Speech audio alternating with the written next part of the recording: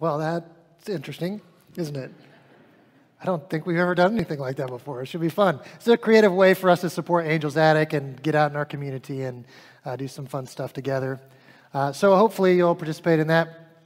But um, the idea behind that event comes from our, our 5 2 Essentials, which, if you've been a part of our volunteer training here, you know what that is. Uh, we take all of our volunteers through some training on uh, five basic practices that we think if everyone would invest in these, um, you put yourself in a good position to be used by God.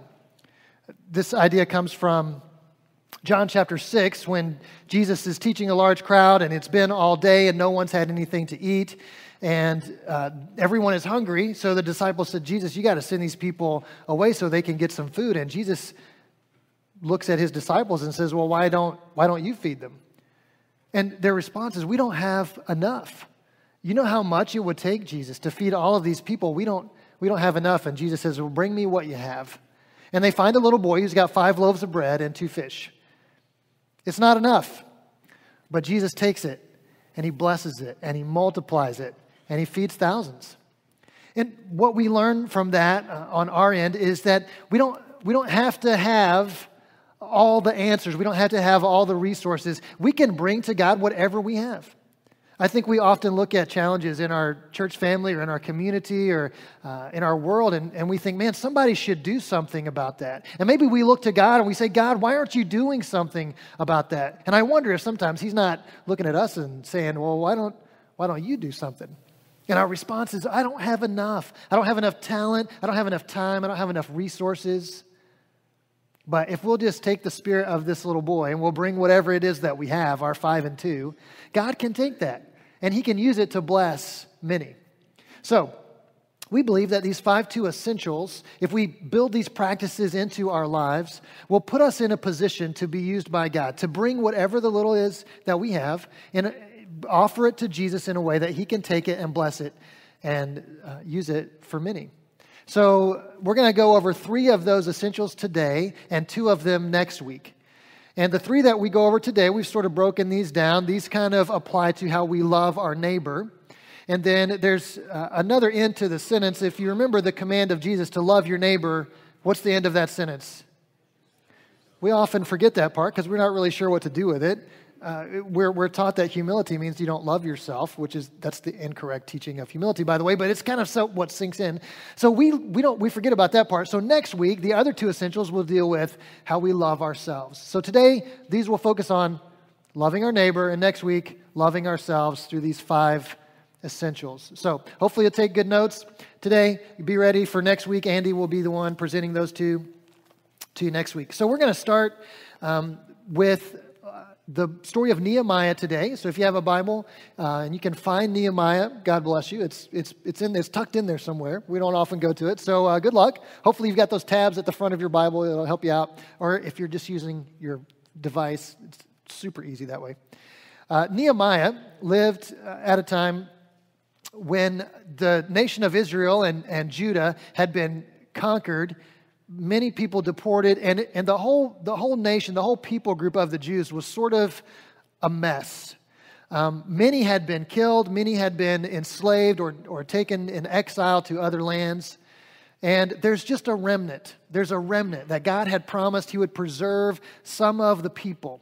So uh, in the 6th century BC, Nebuchadnezzar comes into Jerusalem and Babylon destroys the city of Jerusalem, tears down the walls, burns the gates. Fast forward 100 years or so later, and you find Nehemiah. Uh, during that time, the Persians had conquered the Babylonians, and so now Persia is sort of the empire in control of this part of the world. They have a little bit different foreign policy than Babylon did, so they let a lot of the people go back to their homelands. And so there are Jews once again living in Judah and in Jerusalem. And Nehemiah lives in Susa, in the capital, in the Persian capital. And so that's where we're going to pick up in uh, the book of Nehemiah, chapter 1, starting in verse 1. The words of Nehemiah, the son of Hacaliah. Now it happened in the month of Chislev in the 20th year, as I was in Susa, the citadel, that Hanani, one of my brothers, came with certain men from Judah.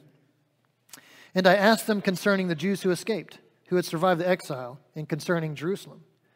And they said to me, The remnant there in the province who had survived the exile is in great trouble and shame.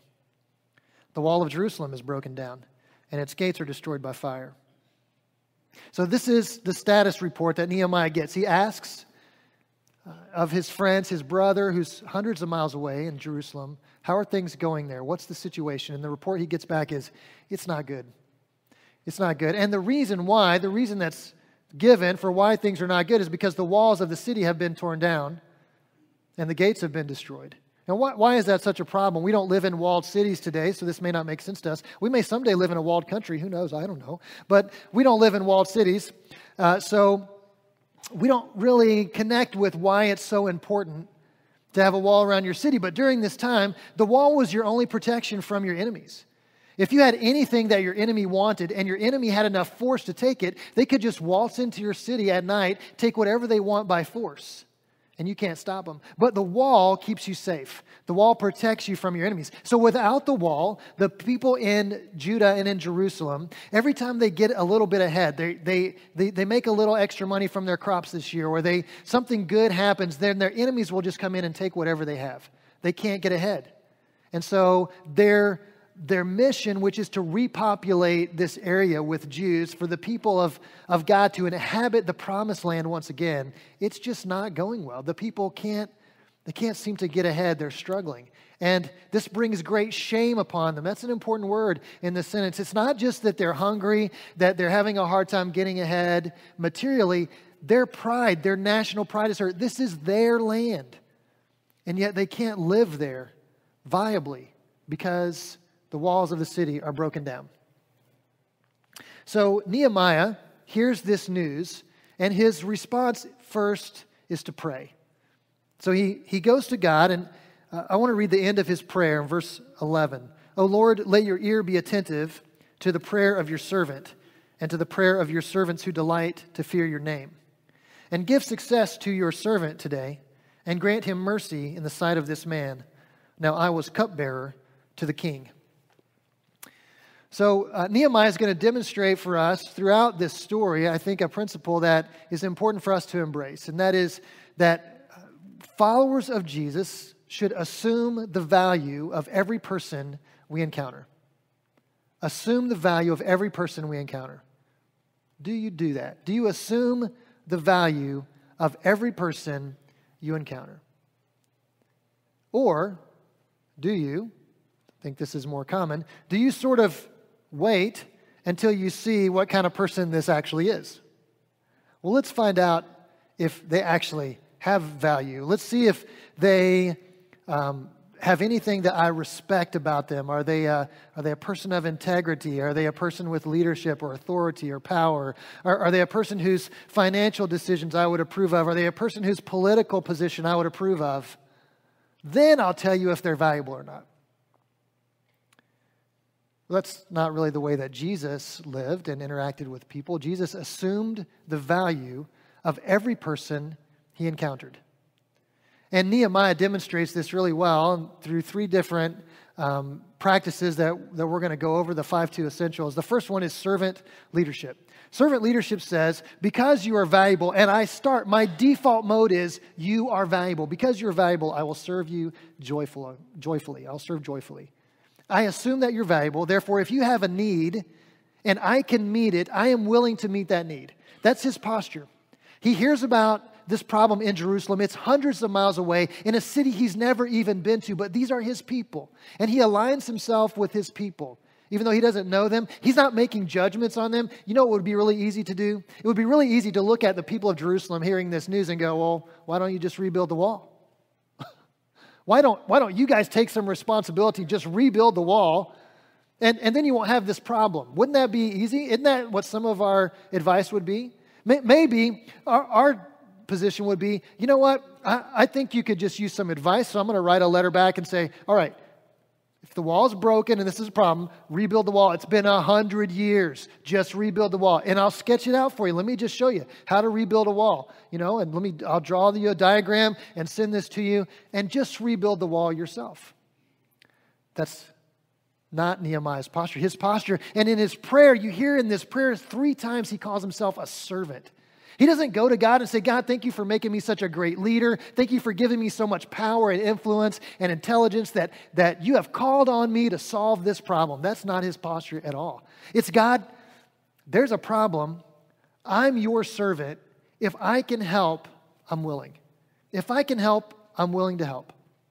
That's, that's all he says.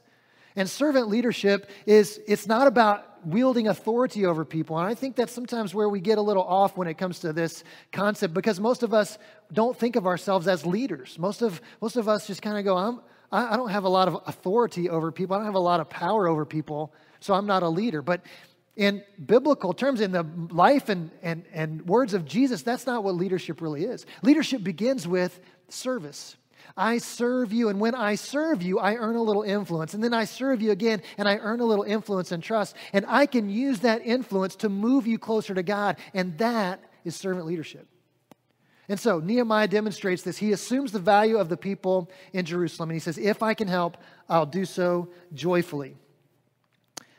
Do you have opportunities to help? Are you aware of the needs around you? Sometimes the trick is just to be aware of the needs. I think most of us are willing to help. I, I don't run into very many people who just sort of have this attitude of, you know, I'm going to take care of myself and everyone else is on their own. I don't know very many people like that. Most of you I know are willing to help. It's are we willing to find out what the need is? Nehemiah asks. He's, he goes digging for information. And I think sometimes we, we need to be a little more aggressive in asking what the need is. I'll tell a story about my friend John here. John, um, many of you know me, he lost his wife a couple months ago and just been figuring out a new normal. And, and uh, there have been a lot of offers for help, you know, and I, I know sometimes it's, it's hard to know what to do there. So I just asked him one day, John, what's one thing? Just tell me one thing that if you could get some help with this, it would, it would be great. He said, I would just love to go to a few of my son's wrestling matches. I was like, all right let's see if we can figure that out because he can't take all of his kids there. So um, I got on the phone, and within 15 minutes, I had three matches covered. People who were absolutely willing, just, yeah, just tell me what to do, point me in the right direction, and I'll go. But we have to get beyond just saying, hey, call me if you need anything. Isn't that kind of what we say? And we absolutely mean it, don't you? When you say, call me if you, if you need anything, we mean it. And if they called, we would do whatever they asked. But they don't call, do they? We, ha- we have to be a little more strategic in our asking. Instead of just saying, call me if you need anything, just like, what is one thing? What is one challenge facing you that you, are just not sure how you're going to figure it out? You're not sure how you're going to overcome this. You're not sure how you're going to make this work. Just tell me one thing. And, and when we ask like that, we're putting ourselves in the posture of a servant.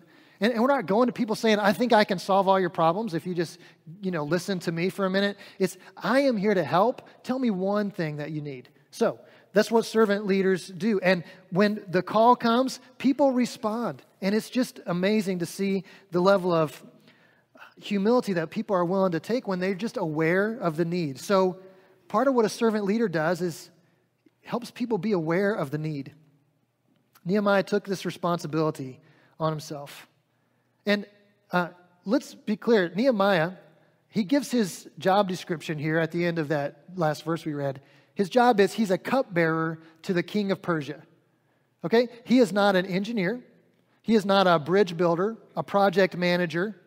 He is not a wall builder. That is not what he does. I'm not sure he has the first clue how to rebuild a wall. But he doesn't let that stop him from putting himself in a position to help. So let me just share with you. Some of you think, like, okay, there's a lot of things in the church that need to be done, but I don't have any of those skills. I'm not like a pastor. I'm not an evangelist. I'm not, I'm not really a prayer warrior. We just need to let those people, those professionals, do the work. Nehemiah was not a professional wall builder, but he's about to figure out how to build a wall because he's willing to put himself in a position of service. Okay? So, uh, let's see what happens next. Uh, chapter 2, verse 1. In the month of Nisan, in the 20th year of King Artaxerxes when wine was before him. I took up the wine and gave it to the king. Now, I had not been sad in his presence because you're not, you, are not supposed to be sad in the presence of the king. The king wants to be happy, he wants the people around him to be happy. So, your job is to be happy in front of the king. But he's allowing his sadness to show. So, the king said to me, Why is your face sad? seeing that you are not sick, this is nothing but a sadness of the heart. Then I was very much afraid for Nehemiah to share with the king what's going on in, in a city that the king has no really, it's not of benefit to him to build up the city of Jerusalem. These people are subject to him. And to strengthen the people that he is oppressing just doesn't seem like it's in his best interest. So Nehemiah is terrified to tell him what's really going on. But it doesn't stop him. I was very much afraid and I said to the king, Let the king live forever. Why should not my face be sad when the city, the place of my father's graves, lies in ruins and its gates have been destroyed by fire? Then the king said to me, What are you requesting? So I prayed to the God of heaven, and I said to the king, If it pleases the king, and if your servant has found favor in your sight, that you send me to Judah, to the city of my father's graves, that I may rebuild it. The cupbearer comes to the king and says, My city that's been destroyed, these people who are paying taxes to you, they're suffering, and I want to go with your permission and rebuild the city. Can I get like six months off to go and rebuild this city to make these people stronger that you are oppressing? it's a ridiculous request. But do you notice what happens in the middle of this request? He stopped and prayed. Like the king says, What is it that you're asking? And he prays. And then he makes his request. And I wonder what that prayer was like. I wonder if it went something like this God, this feels like a great opportunity, but this guy could just as easily chop off my head as he could say yes to my request. So give me boldness, give me courage, and success. Whatever he prayed for, God lined this up for him. So not only does the king give him the time off and say, absolutely, go and rebuild your hometown, he doesn't even ask some of the obvious questions like, Nehemiah, do you know how to rebuild a wall? He doesn't even ask that question. He just says, yeah, go knock yourself out. And Nehemiah, a little encouraged by this success in his boldness, asks the next question. He says, Oh, um, and by the way, if you don't mind, would you pay for the project? Would you, would you give me letters to all the people that are in control of your timber supply and your stone supply? And just tell them to give me whatever I ask for so that I can take all the materials I need with me.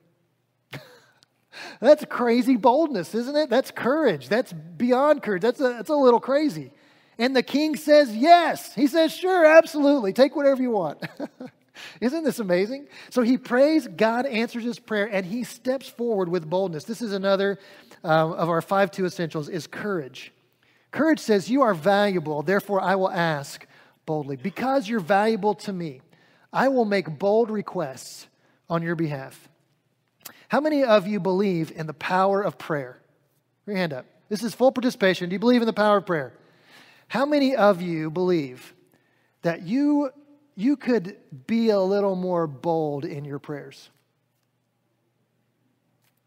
Isn't that interesting? We believe in the power of prayer, and yet a lot of times our prayers are sort of like, thank you for this food and um, keep me safe on my journey. And God's like, I got that. I can do that in my sleep. What else you got? I mean, is that is that really, do you, do you know what I can do? And that's, that's really all you're asking me for? Do you know the resources I have at my disposal and all you can think of is help me get a decent parking spot at Kroger? Like, come on. I can do so much more than that. Ask boldly on behalf of others. I think this is an important part of the asking boldly. When we ask boldly on behalf of others, there's this incredible story in the book of Acts when uh, Peter and John get in trouble for preaching the gospel. And the religious leaders say, Hey, you remember what we did to Jesus? We can do the same to you. Stop preaching about Jesus. And they go back to the rest of the disciples and they have a prayer time. And do you know what they ask for? They don't ask for God to keep them safe, they ask for boldness to preach the word. On behalf of others, God, it could cost us our lives, but there are people out there who need to know about Jesus. Would you give us boldness? Would you not allow our fear to stop us from sharing the good news about Jesus? And Nehemiah asked with boldness. And I think it's important that we are able to step in with some courage on behalf of others. Ask God with boldness, and we need to be able to ask other people with boldness. We need to demonstrate some courage in the way that we communicate to people. But a couple important points about courage and the way that we communicate. First of all, um, manipulation is not courage. Manipulation does not assume the value of the other person. It actually assumes that you can't deal with this person honestly, so you have to, you have to deceive in order to get your message across or get what you want. Um, most of us are, are, uh, usually not aware when we're being manipulative. So if you want to demonstrate some courage today um, at lunch, ask your spouse, Do I ever manipulate you? Just ask that question, see how that goes. It will take some courage, but you might get some really helpful feedback. Right? That's not courage. Passivity is not courage. Passivity assumes that the other person can't be trusted. Domineering is not courage. It assumes that the other person has no valuable input, or insight, or responsibility. So we need to make sure that when we're asking with boldness, we're doing it in a way that assumes the value of the other person. Because you're valuable to me, I, I can be assertive, I can ask boldly on your behalf. What would it cost you? What would it cost you? Are, are you sometimes aware that there are people around you who are having a bad day? Can you sometimes see it? D- does everyone always have to tell you, hey, I'm having a bad day? Or can you sometimes tell? What, what, what about, so this happens to me often as I go grocery shopping, and the, the cashier, by the time I get up there, three other people have already yelled at her because of something that didn't go their way. And, and you can just see on her face she's having a bad day, right?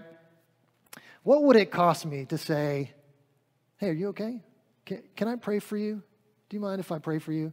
That, that feels a little out of the box. It's like, no, you go in, you get your groceries, and you get out because who wants to be there anyway, right? Let's just get this over with.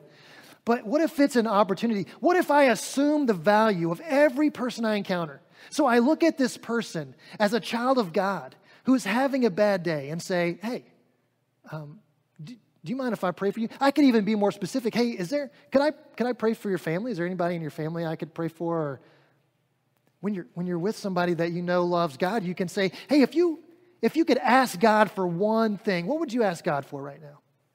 Can I pray with you about that? Like, just some courage and boldness. It, it, it assumes the value of the other person and it gives us a chance to move people forward. Nehemiah does that well. This, this uh, another element of this boldness, this courage, is vulnerability. Vulnerability is letting people see the real you, right? That takes some courage, doesn't it? And it's difficult. I'm in, a, in a, a, group with some guys that we meet once a week, and there is a pretty high level of vulnerability in our group. Guys are they're sharing very personal things that have happened and things that they're going through and asking for prayer for real life situations.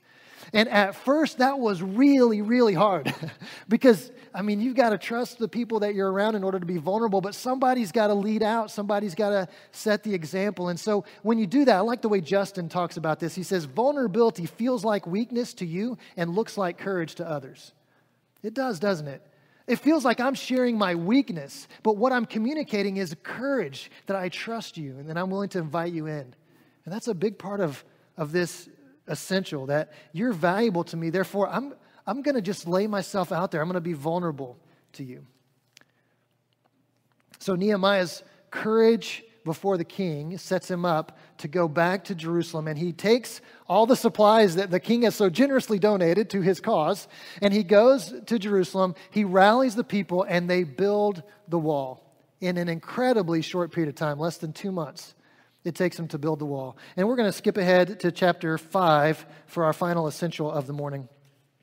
In chapter 5, uh, verse uh, 1, I'm going to read a few verses here. Now there arose a great outcry of the people and of their wives against their Jewish brothers. Okay, so some of the people are upset with their, their Jewish brothers. For there were those who said, With our sons and our daughters we are many, so let us get grain that we may eat and keep alive. So we don't have enough food to eat. And there are also those who said, We are mortgaging our fields, our vineyards, and our houses to get grain because of the famine. There's a famine on, there's not enough food, so we've mortgaged our land to be able to buy grain. There were those who said, um, we have borrowed money for the king's tax on our fields and our vineyards. Now our flesh is as the flesh of our brothers, and our children are as their children. Yet we are forcing our sons and our daughters to be slaves, and some of our daughters have already been enslaved, but it is not in our power to help it, for other men have our fields and our vineyards. So some were saying the king's tax, we can't afford to pay it. So we've sold our children into slavery to be able to pay the king's tax. Who did they sell their children into slavery to? Who did they mortgage their fields to?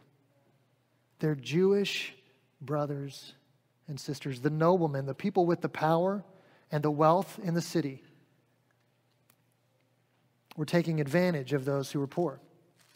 Now, it's important before we get to this next part and understand why Nehemiah has his response that these people don't live in the same sort of society that we do, where, where kind of this democratic republic idea is sort of built in. And we, we have this understanding that every, everybody has a voice, everybody gets to ask for what they want. It wasn't like that in this time. The nobles, the people with the land and the money and the power, they had a voice. The poor people did not have a voice. No one cared what they thought except for Nehemiah. They have these problems and they think, who could we go to? Who would listen to us? Nehemiah would. He had built some trust with them so that they came to him with their problems and they felt like he would care about what was going on with them and try to help them. So here's his response, verse 6 I was very angry when I heard the outcry and these words. So I took counsel with myself I love that line. I took counsel with, so it's like I asked the smartest person I could think of, self, what would you do in this situation? Um, I think what he's really doing is he's calming down. He's really angry, and acting out of that anger may not be the wisest thing. So he's he's sort of like, all right, self, let's let's think about this for a minute. I took counsel with myself, and I brought charges against the nobles and the officials. And I said to them, You are exacting interest, each from his brother and I held a great assembly against them. What Nehemiah is demonstrating here is our third essential relational IQ. Relational IQ is just this ability to understand people, that desire to understand people, and a willingness to go the extra mile to understand um, the needs and the, the situation of the people that are around us.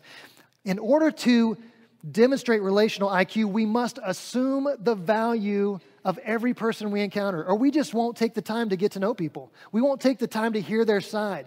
We won't take the time to understand why they think the way they think and why they do the things they do. We have to start by assuming the value of every person we encounter. And because you're valuable, I will listen actively. And this is exactly what Nehemiah does. He listens to their outcry. He recognizes that not only is this really just not fair, but it's actually against the Mosaic law for them to charge interest to their countrymen. It's against the law. And so he says, You got to knock it off. And the nobles say, Okay, you're right. And they quit charging interest and they return the land back to the owners and they release the slaves. Because Nehemiah was willing to listen, he was willing to take the time to hear the complaints of the people that were being oppressed. And he did them a great honor. These were not people who felt valued by their society. Nehemiah gives them the gift of hearing them. Do you realize that? When you hear someone, you're giving them a gift. Just that opportunity to share what's on their heart and that you're going to listen. And you're not going to try to fix everything and you're not going to try to give them all the right advice, but just listen and understand. And he does that for the people who are poor. And he turns what could have been a very divisive moment in this struggling nation into a, an opportunity for unity because these people had to work together to finish the wall. So he unites them by demonstrating some relational IQ, being willing just to listen. And sometimes that is just the greatest gift. Uh, a little over a week ago, um, I had somebody come in, uh, make an appointment to come in and see me, and, and, I didn't know what it was about. I mean, people come and see me for all different reasons, and um, I usually assume somebody needs some help with something. And that's why I'm here. So I'm happy to sit down and meet. And Nick comes in, and instead of asking me for help, he says, How can I help you? What can I do for you? How can I serve you? How can I encourage you? How can I support you? That was such a gift. It was such a gift. I was able to just share what was on my heart with him. He prayed with me and then left and never asked me for anything. It was awesome. It was a gift. You can give that gift. There are people in your life who just need someone to listen. Just sit down and say, What's on your mind? How can I serve you? How can I pray for you? How can I encourage you? That level of relational IQ demonstrates a high value of the people around you. No one can walk away from a conversation like that and not know that they're valuable. It's a gift. So that's one of our essentials. We want to encourage you to listen actively. And I think you guys are pretty good at this because I still get caramel M&Ms from time to time from you people. I said it once, people remembered it and acted on it. I'm running a little low. Uh, just on a side note. But that's what it's about listening and then acting on what you hear, and being willing to take action on, on people's behalf. So uh, today, I just want us to, to, to rest on that one idea assume the value of every person you encounter. Just, just default to that. They are created in the image of God. Every person you encounter is someone for whom Jesus died. Everyone. And if we just assume the value of every person we encounter, and then we put ourselves in a position to serve, to, to demonstrate courage, to ask boldly on their behalf, to sit and just listen to them. I, I think we have opportunities to help people move forward in our relationship with Jesus, to grow our faith, to produce more fruit, to see more lost people come to Christ. And I know that when it comes to that, when you think of five or 6,000 people within a five mile radius of this church don't know Jesus as their Lord and Savior. Five to 6,000 don't know Jesus as their Lord and Savior. And you go, well, somebody should do something about that. Isn't that what we pay Adam for? What will you pay me for is to tell you to do it and tell you how to do it. So that's what I'm doing. but we go, we go to that problem. We go, I don't have enough resources. I don't know enough Bible verses. I don't have enough courage to solve that problem. But if you could bring to God the little bit that you have, maybe Jesus could take that and bless it and multiply it in a way that impacts many lives. Are you willing to just bring the little bit that you have? Be a servant leader, demonstrate courage and relational IQ, see what God can do with your five and two. That rhymed. Didn't mean for it to. That's cool. I just want you to go to God with that prayer this morning. Would you, would you stand and pray with me? For most of us, we can look at, at one of these three elements and recognize that um, I could use I, I could use some growth in this area, either servant leadership, courage, or relational IQ. So just take one of those to God and say, God, would you help me? Would you give me more courage? Would you help me to be a better listener? Would you give me the posture of a servant? Would you take that prayer before God? And let's see what he does with it. Let's pray. Father, thank you so much for this challenge today from the life of Nehemiah. And we, we see the example of Jesus all throughout this story.